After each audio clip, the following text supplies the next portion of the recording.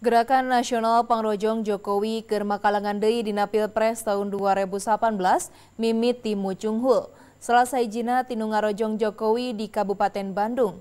Pihakna ngadeklarasikan pangrojong ngaliwatan gerakan nasional kalawan jargon hashtag J2P atau Jokowi 2 periode anu dilakonan di Tugu Juang Bale Endah Kabupaten Bandung. Nggoning yang harapan perak-perakan pendaftaran Pilpres tahun 2018, sejumlah hing pangrojong ka calon kandidat presiden mimiti mucunghul di Saban Lelewak di Kuliah Nusantara kaasup di Kabupaten Bandung.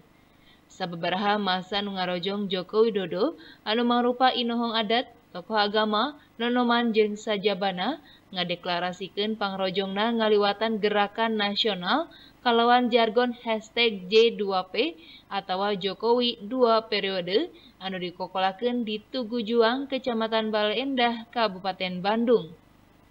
Eta masa dipimpin calon wakil gubernur Jawa Barat mantan Anton Karlian. Dirina ngerong, Jokowi merenah nampa apresiasi luyu karena cara gawena salila opat tahun katomper nangken mimpin Indonesia.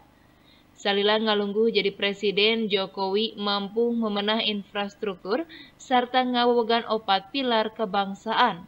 Eta pilar kebangsaan anu opate diantarana Pancasila minangka dasar negara, Undang-Undang Dasar 1845, Bineka Tunggal Ika, serta ngariksa bengketan NKRI. Membuktikan bahwa e, suara rakyat yang ingin mendukung Bapak Jokowi untuk dua periode ini disambut baik oleh seluruh kalangan masyarakat.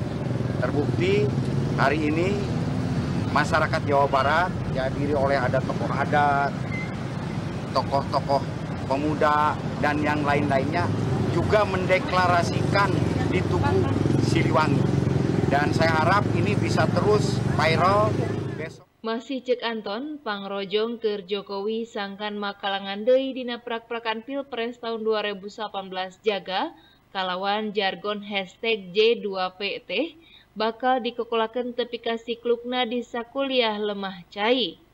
Tapi kamari lewi ti 10 provinsi bakal ngadeklarasikan pangrojong nyaeta J2P sagancangna. Rezi Tia Prasaja, Bandung TV